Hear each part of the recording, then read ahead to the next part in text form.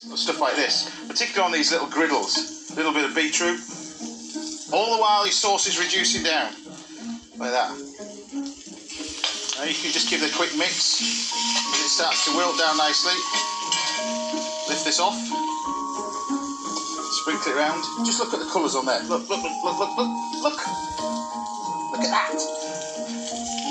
I love cooking onions like this. All the while the sauce is reducing down. I'll switch everything off now.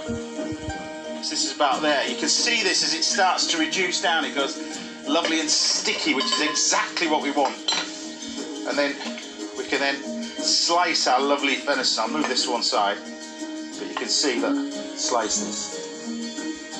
Look at that. Bit for the chef, dump in the sauce.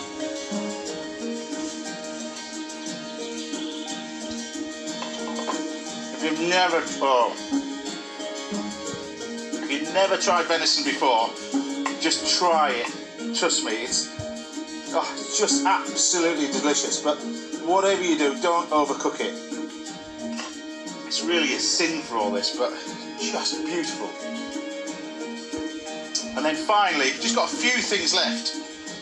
We've got our nice little shallots. Now, when you cook shallots like this, they open out little little petals. And I want you to do this because they're like little flower petals, you see, as you open them out. Bit of that. And then you've got your nice, lovely, rich sauce over the top.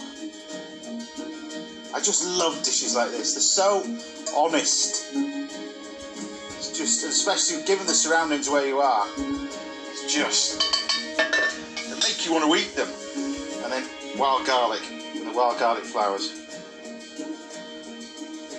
And then there's one more thing. Just a few little blackberries